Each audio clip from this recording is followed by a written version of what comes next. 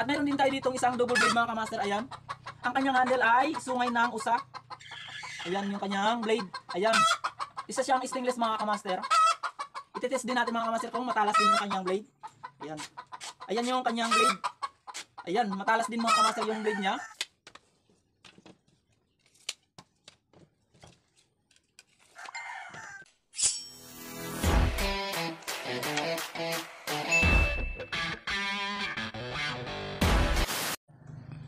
What's up mga kamaster? For today's video ay ipiplex ko sa inyo yung iba't ibang design ng aking mga mini knife. So mayroon ako dito mga kamaster ng mga mini knife na 10 pirasong mini knife mga kamaster. So heto po silang lahat. So ipapakita ko po sa inyo. Ayan.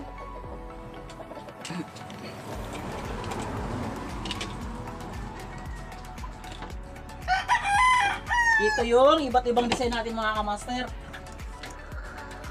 Sa ngayon mga kamaster, ito muna yung papakita ko sa inyo yung aking mga mini knife. So ito sila mga kamaster. Ayan mga kamaster, mayroon tayo 10 pirasong mini knife. Ayan, so ito yung mga iba't ibang klase ng ating mini knife mga kamaster. Ayan, so ito na silang lahat mga kamaster, 10 piraso sila. So pasensyahan nyo na mga kamaster at medyo maingay yung ating manok. Ayan. Pero bago ko pakita sa inyo mga kamaster yung kanilang mga blade, Isang mabilisang shoutout muna kay Aljan Ikonar ng Bohol at sa mga kamaster natin na nag-abil ng aking mga obra na si Iboy Villarruel ng Cotabato City, Rimanel Discaya ng Quezon City, Dennis Doria ng Dinagat Island, at sa isang OFW na si Isidro Pastriana. Ayun, marami pong salamat kamaster at sa walang sawaan yung panonood ng aking mga video sa aking YouTube channel. Sa ngayon mga kamaster is ipapakita ko sa inyo yung iba't ibang design ng ating mga blade. Ito yung kanyang blade mga kamaster, ayan. Isang jungle knife mga kamaster. Ayan, yung kanyang design. So bali ako na lang gumawa nito mga blade na to mga kamaster. So ititis natin mga kamaster kung gaano nga ba ito katalas mga kamaster. So ito, mayroon tayo dito isang kupumban. Ayan. So ayan mga kamaster, ito yung isa sa ating mga blade. Ayan. Ito naman yung isang design natin mga kamaster. Ayan. So ito ay isang tinari design mga kamaster yung kanyang blade. Parang hawig siya sa isang karambet. Ayan. So, it it itaray din natin mga kamaster kung matalas din to. Ayan. Maganda yung blade mga kamaster. Medyo matalas kaso medyo, ayan, kinalawang na siya mga kamaster. Ayan, so lilinisin natin siya mamaya. So ito, mayroon din ako ditong isang design mga kamaster. Ito yung kanyang design. Ayan, isang ahas. So ito rin yung kanyang blade mga kamaster. Ayan. Isang dahong palay yung kanyang blade. So ito yung kanyang blade mga kamaster. So ayan, medyo kinalawang na rin. So itetest natin siya mga kamaster kung matalas din. Uh, ayan po yung kanyang blade. So ayos pa yung kanyang blade mga kamaster. Ayan. So medyo kinalawang nga lang mga kamaster. At mamaya ay maglilinis po tayo ng ating mga blade. At mayroon din tayo ditong isang double blade mga kamaster. Ayan. Ang kanyang handle ay sungay ng usa. Ayan yung kanyang blade. Ayan. Isa siyang stainless mga kamaster. Itetest din natin mga kamaster kung matalas din yung kanyang blade. Ayan. Ayan yung kanyang blade. Ayan, matalas din mga kamaster yung blade niya. So kahit medyo napabayaan na natin mga kamaster, hindi natin to nalinis ng mga ilang araw. Pero ayos pa rin yung kanyang blade mga kamaster, medyo matalas pa rin naman. At ito rin mga kamaster, mayroon din tayo ditong isang mini knife na hand handle design mga kamaster. Ayan, isa sa pinakamaliit kong blade mga kamaster. So ito yung kanyang blade, ayan. Ayan yung kanyang blade mga kamaster, maiksi lang. So medyo kinalawang na sila mga kamaster. So itetest din natin mga kamaster kung matalas din. Ito siya mga kamaster, ayun matalas pa rin siya. Kahit na medyo kinalawang na rin. Ayun, so may konting kalawang na siya mga kamaster, ayan. So marami tayong lilinising mga blade mga kamaster. At ito rin yung pinakamaliit ko mga kamaster na nasa video ko na rin to mga kamaster itong pinakamaliit. Ito lang siya mga kamaster kung gaano siya kaliit. Ayan. So kasya lang siya sa isang palad. Yan, gan ganun po siya kaliit mga kamaster.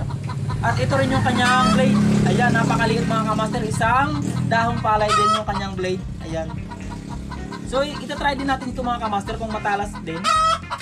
Ayan yung kanyang blade mga kamaster. Ayan, matalas din yung kanyang blade. Kaso nga lang, medyo kinalawang na rin. Ayan, medyo napabayaan na rin natin yung kanyang So marami tayong lilinising mga blade sa ngayon mga kamaster. Ito rin yung isang sa ating design mga kamaster. Ayan. Isang kutsilyo din to mga kamaster. Ayan, so isang jungle knife. Ayan. So ito yung kanyang blade mga kamaster. Ayan, medyo kinalawang na rin. At ito yung kanyang scabbard. Ayan. So ito try din natin to mga kamaster kung matalas pa mga kamaster. Ayan. Ayan, matalas pa rin mga kamaster kahit na medyo kinalawang na rin. Ayan, so ito yung isa sa ating mga blade mga kamaster. At ito pa yung isa sa ating design mga kamaster. Ayan, so isa, isa pa rin siyang dragon. So ito rin yung kanyang blade. Ayan, medyo kinalawang na rin mga kamaster. So iti-test din natin mga kamaster kung matalas pa rin siya. Ayan, so ayos pa naman yung kanyang blade mga kamaster. Medyo kinalawang nga lang sila. So ito yung mga blade natin mga kamaster. At ito na lang yung nag-iisang design natin yan. Yung kanyang design. Ito yung last na kutsilyo natin mga kamaster na mini knife. Ayan yung kanyang blade. Ayan, so ito medyo maayos pa yung kanyang blade, hindi pa siya kinalawang. So ito try din natin ito mga kamaster kung gaano siya katalas. Ayan po yung kanyang blade. Ayan, so ayos pa naman yung kanyang blade mga kamaster. Ayan. So ito yung 10 piraso natin mga kamaster na iba't ibang design. Sa ngayon, ito muna ang ating mga mini knife yung ipi-plate sa inyo mga kamaster. At meron po tayo itong isang plate mga kamaster. Ayan. Ito yung pinakustomize ni Sir Juan Miguel. Ayan, yung kanyang design. So ito na po Sir Juan Miguel yung inyong kutsilyo. Tapos na siya. So antayin mo na lang sir yung next shipping ko at doon na lang tayo magkita sa tapat ng LBC. Na sila mga kamaster, ayan, nalinis ko na siya. Sa ngayon is maglalagay tayo ng oil. Oil lang po yung ginagamit ko dito sa aking mga blade mga kamaster. Ayan. Ito mga kamaster ay langis mga kamaster galing sa transformer. Ayan. Ganito lang po yung ginagawa ko mga kamaster. Every time po na naglilinis po ako ng aking mga blade. Ayan. So linalagyan ko lang po siya ng langis. After ko po matanggal yung mga kalawang, ayan. So linalagyan ko po sila ng langis. Ayan. So ganito lang po yung ginagawa ko lagi mga kamaster. So, naglilinis ako mga kamaster every 3 or 4 days. Yan. Every 3 to 4 days mga kamaster ako naglilinis ng aking mga blade. Ito mga kamaster is medyo napabayaan ko. So, umabot na siya ng 6 days bago ko ngayon siya na tingnan, bago ko ngayon siya nalinis. Ayan. So, ganito po ako maglinis ng aking mga blade mga kamaster. Yan. So, dinalagyan ko siya ng oil.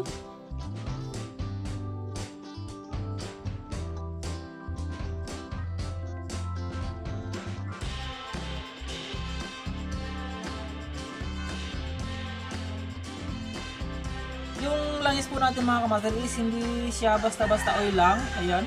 So ito po ay galing sa isang sirang transformer mga kamaster. Ayan. So nakahingi po tayo ng counting oil. Ito po yung ina-apply ko dito sa aking mga kutsilyo.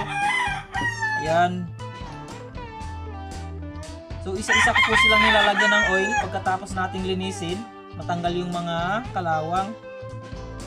Ganun po yung pamamaraan ko mga kamaster. After na malagyan ko mga kamaster sila ng oil, isa-isa ko rin silang pupunasan. Ganun po yung ginagawa ko. Ayan. Isa-isa ko rin silang pupunasan mga kamaster.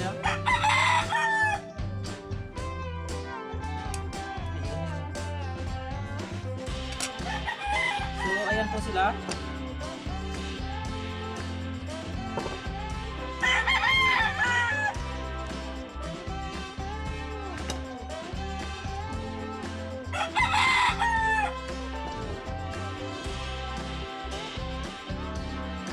Ganun lang po yung ginagawa ko mga kamaster every time na naglilinis po ako ayan. So after ko malagyan po sila ng oil is pinupunasan ko rin sila isa-isa.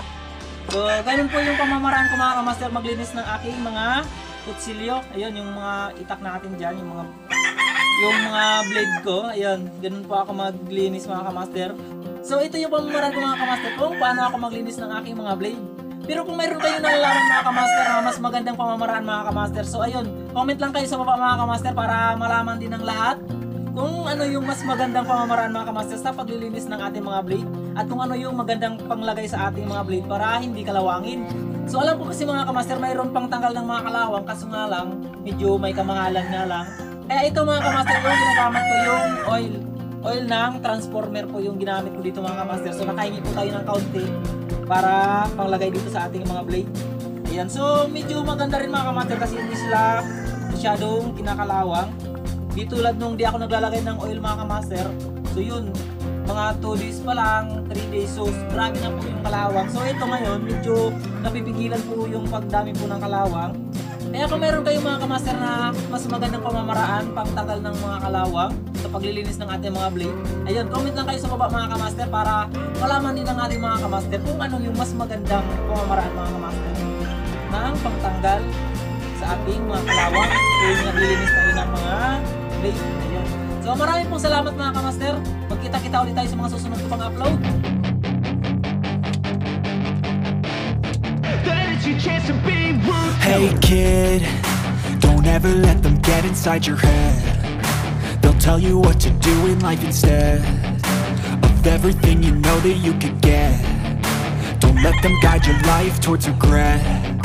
I'll fight for what I love with every breath. My past is filled with things I won't forget.